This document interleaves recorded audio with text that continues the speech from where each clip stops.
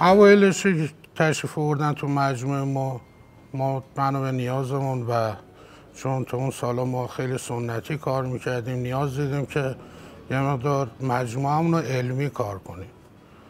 و از مهندسین صنایع دعوت کردیم و خیلی رزومه فرستادن برای ما. حتی کسایی که تحصیلاتشون لیسانس و فوق لیسانس تو این زمینه بودن تشریف آوردن. تو مجموعه و ما مصاحبه‌ای با ایشون داشت. باشون داشتیم. اون تا آقای آبدی تو دوران دانشجویی بود.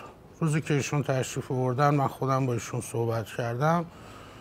آتش و شوق ایشون رو دیدم که خیلی تمایل دارن یه کار خوبی رو انجام بدن و یه مجموعه ای رو آباد کنن. برای همین ما تصمیم گرفتیم که ایشون رو تو مجموعه اضافه کنیم و همکاری داشته باشیم.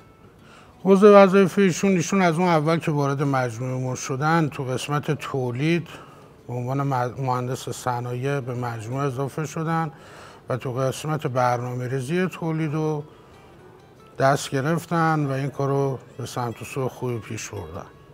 خیلی جالب بود. یعنی حوزه فعالیت ایشون این بود ولی خب توی چند سال گذشته تقریبا می‌تونم هر ساله این SWT مجموعه ما رو ایشون برامون تدوین کرد.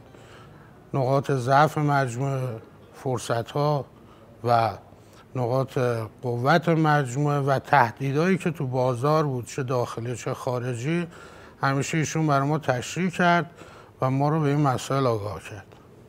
محمد مدیر برنامه ریزی کارخونه آیسامو بود. و سمتی که ایشون داشت توی قسمت برنامه ریزی تولید و قسمت کنترل مواد کارخونه تقریبا میشه گفت فعالیت می‌کرد و یه جوری توی تصمیم گیری کلان توی جلسات اونم شرکت داشت.